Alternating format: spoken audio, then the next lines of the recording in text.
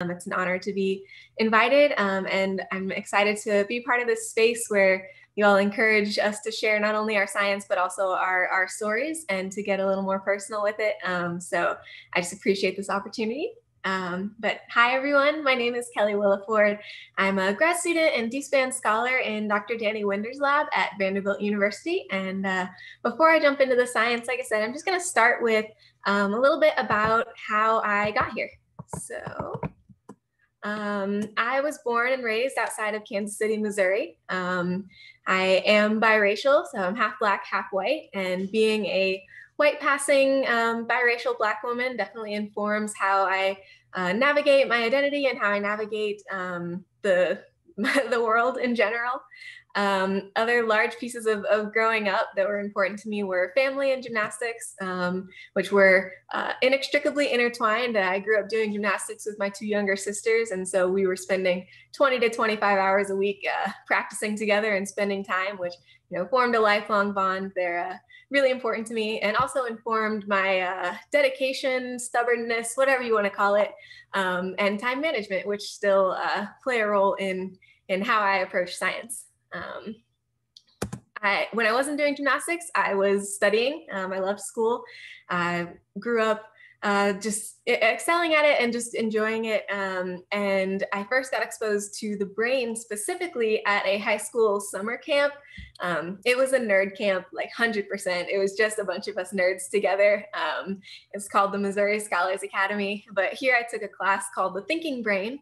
And in it, I got to dissect a human brain. And it was just the coolest thing that I had ever done. Um, we got to ask questions and hear about questions that people were asking about the brain, um, and I was hooked, and I've been hooked ever since.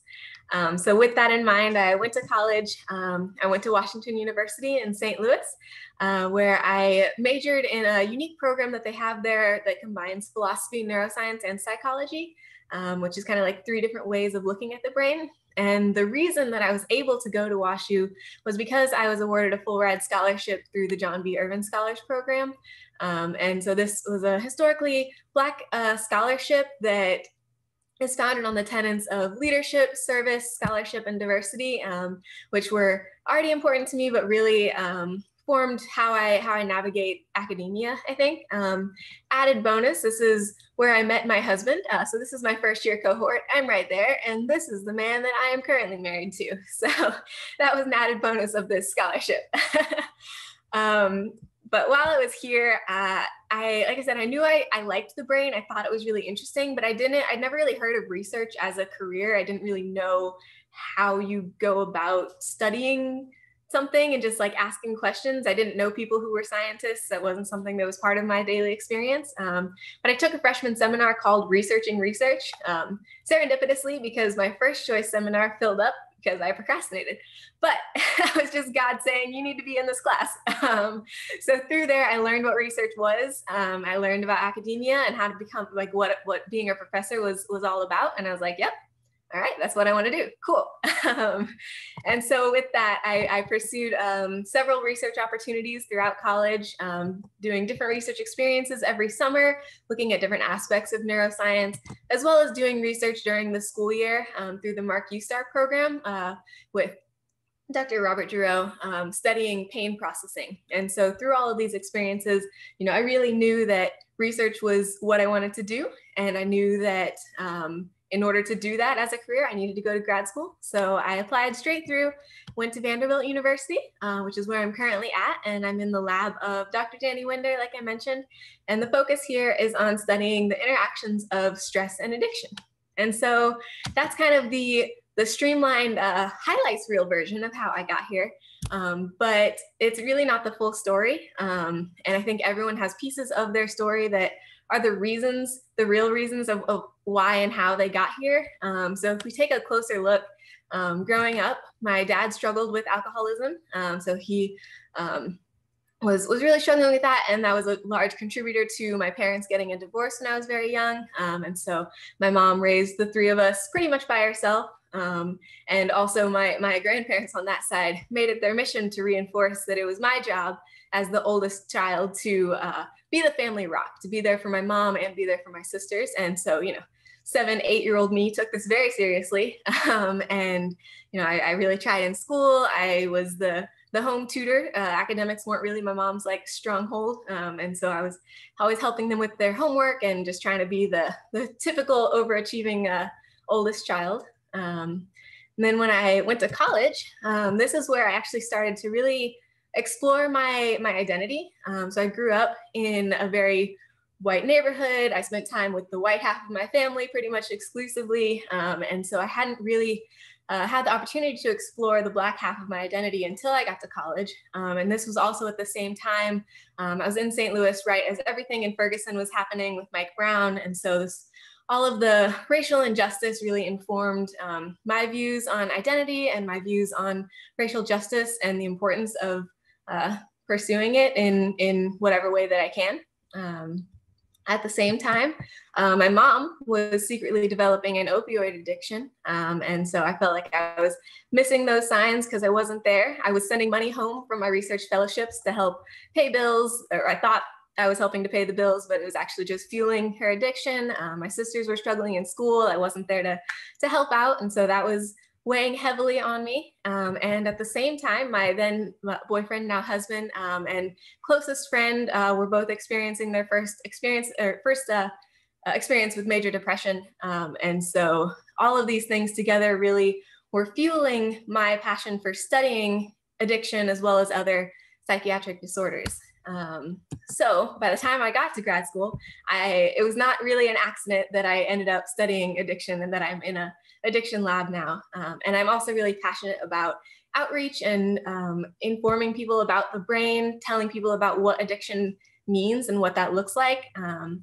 as well as doing a lot of diversity and inclusion work. Um, I do, like I said, a lot of outreach. I founded the Graduate Students of Color Collective when I was um, my first year in grad school. Um, I do a lot of mentoring and recruiting through the Initiative for Maximizing Student Diversity and just recently helped launch the Ladders Mentoring Program, which is leaders advancing the development of diverse educators and researchers in STEM. Um, it's a mentoring program for underrepresented grad students, postdocs, and then um, having a faculty head uh, at Vanderbilt. And so I'm really excited that we've gotten that going. Um, but the reason that I bring all these in is that um, we all have this, like I said, this this highlights reel of how we got to where we are, um, but we don't often get to share or take a look at some of the, the underlying things and, and the harder points that actually really got us where we are. Um, and so I think it's really important to, to highlight those pieces too, because um, they're critical in forming a lot of, for especially for underrepresented students, why we're doing what we're doing. So um,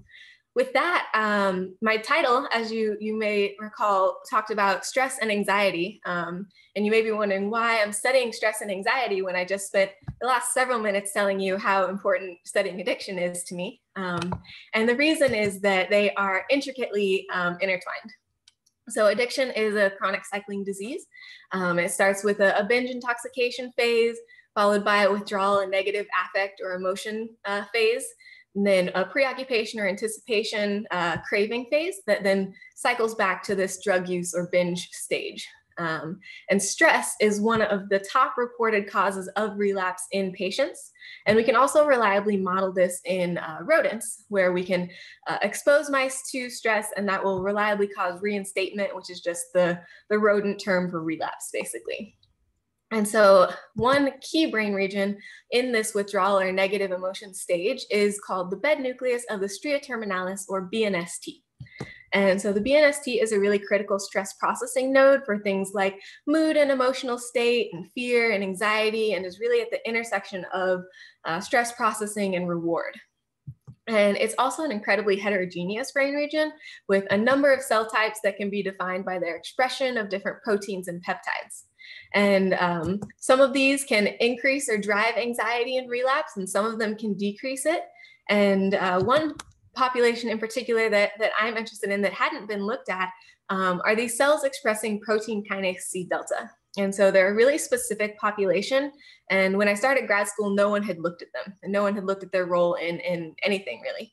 Um, there was a recent paper that came out implicating them in reducing feeding. But my question was what role are these cells playing in stress and anxiety like behavior? Um, they'd been implicated in fear in a related brain region. And so I wanted to know, okay, what are they doing for anxiety specifically? And in order to do this, the first question that I asked was, what does the activation or activity in PKC delta cells look like during exposure to stress? So when uh, an organism is stressed, what's happening in these cells? And in order to do that, I took advantage of this technique called fibrophotometry using a molecule known as GCAMP. And so this is a modified calcium sensor that in the presence of calcium will fluoresce green. And we can actually implant a, a, fiber optic cable down into the brains of a mouse, and we can detect this fluorescence when there's an increase in calcium. Now, when neurons fire, that causes an influx of calcium into the cell, and so we can use this as a proxy of neuronal activation. And so I can express this specifically in the BNST PKC delta cells to get an idea of what when they're activated in real time in an awake behaving mouse. And the first task that I wanted to look at to see what role they're playing in stress and anxiety is called this novelty suppressed feeding test. And so this involves placing the mouse in a large open area with a food pellet in the center. Now the mice have been food deprived and so they're motivated to go eat this food pellet. However, mice are creatures of prey. They don't like to be in bright, open, lit spaces for very long, and that's not generally a safe space for them to be in. Um, and so there's this conflict that's created between not really wanting to go out and expose themselves, but also wanting to be um, have to have access to food. And so we can look at the activity right when they enter this food zone, right around the pellet when the, the conflict is greatest. And when I did this, uh, so this dotted zero line here is when they enter this food zone, and the left is um, approaches when they went up to the food but didn't actually take a bite. And then on the right is the final approach when they actually take a bite. And in both instances, we see this increase in activation of PKC delta cells, and that's quantified with the, the graphs to the right of each of these. And so we're seeing this increase in activity at this moment of uh, conflict, approach avoidance uh, behavior um, in these in these mice. Um, but as I mentioned earlier, delta cells have been implicated in feeding, so I wanted to dissociate the food component from the the stressful conflict component. And so I also ran a test called restraint, which involves typically placing the mouse into a 50 mil conical tube and uh, keeping them there, which I think would be stressful for anyone. Um, but this approach is not compatible with the cable that we use that attaches um, to the head implant on the mice uh, for this technique. And so instead, I designed a new device called Restraint, recording signal transients accessible in a tube um, that allows us to have access to the mouse and to their head implant um, while simultaneously protecting this expensive equipment um, so that we can actually in real time look at what the activity looks like while they're being restrained. And in conjunction with um, software called Deep Lab Cut, that was really um, the use of it for the application for um, restraint stress was spearheaded by Joe Lusinger in our lab. Um, we can look at whole body, head only, and tail only movements of the mouse. So periodically throughout restraint stress, they will move or struggle and actively try to escape. Um, and so these are active stress coping bouts. And when we time lock this to the activity, we see that at the onset of these whole body struggle bouts, these struggle escape behaviors, um, we once again see an increase in the activation of these PKC delta cells um, that we don't really see as robustly when they are only moving their head or tail, really when they're just like actively struggling. And so that answers the question during stress and anxiety exposure, PKC delta cells are activated. They're turned on by, by this uh, exposure to stress and anxiety. So then the next question was looking in the opposite direction. What happens when we activate PKC delta cells and what impact does that have on stress or anxiety like behaviors? So to do this, I used uh, in vivo optogenetics using this molecule called channel rhodopsin. So this is a light activated ion channel that we can express in these neurons and then once again implant a light fiber, but this time turn on a light that will drive activation of the PKC delta cells. And I use this in conjunction with real-time place preference to first ask, is activation of PKC delta cells aversive or appetitive? Do mice like it or do they not? And so we can activate the cells on one side of chamber and not on the other and see where mice prefer to spend time. And I also repeated this after stress to see if there were any differences between just baseline exposure or baseline activation and activation of these cells in a stressed state. And while I did not see any differences between a no stress and stress condition, I did see that overall activation of PKC delta cells causes mice to avoid the area of stimulation more so than mice that are just receiving um, a control virus. So they have the light, but the, the virus isn't actually turning on any neurons. And so with that, we know mice don't enjoy, don't particularly enjoy having PKC delta cells stimulated. So the next question was, what does this do to anxiety-like behavior? And I used three different assays for this, open field, novelty suppressed feeding test, and elevated plus maze, which all again rely on this idea that mice don't like to be in bright open spaces. So we can look at the ratio of time spent in the center versus hidden away on the edges. We can look at how long it takes them to go take that first bite of food. And we can look at how much time they spend on open arms of a platform versus enclosed ones. And when I did this, I did not see any differences in this open field test, but we do see a trend for an increase in time to go take that first bite of, of food in the novelty suppressed feeding test, indicating an increase in anxiety like behavior. And in the elevated plus maze, we see a significant decrease in how much time they'll spend on these open arms, again, indicating an increase in anxiety like behavior when we stimulate PKC delta cells. And so that answers the question yes, when we when we uh, drive activity of PKC delta cells, that can increase stress and anxiety like behavior.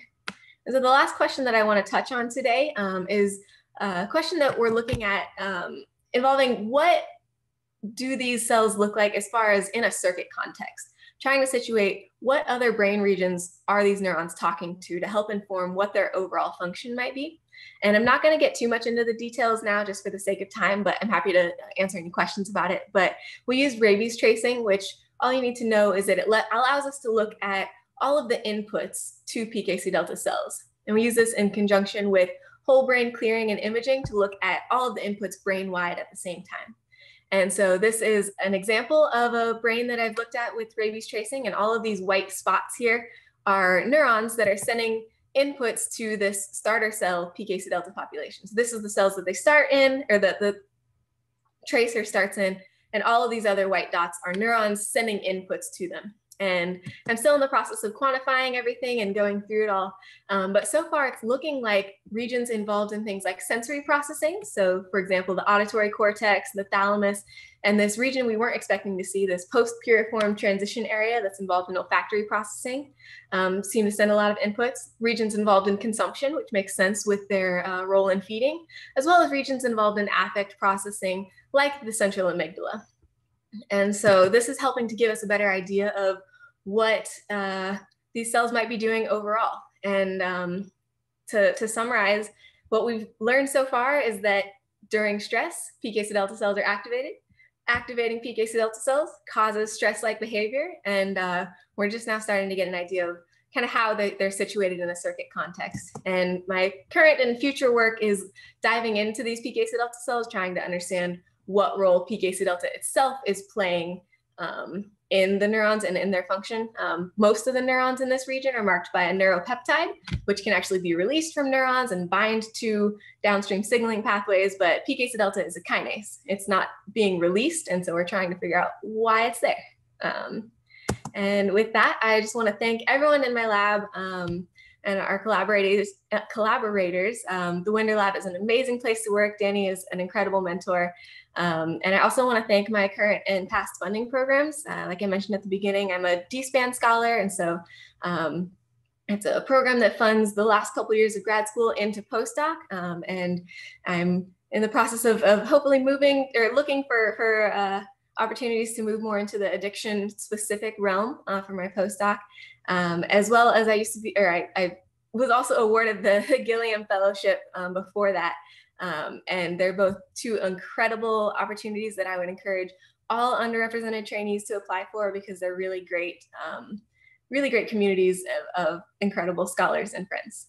Um, so with that, I will take any questions.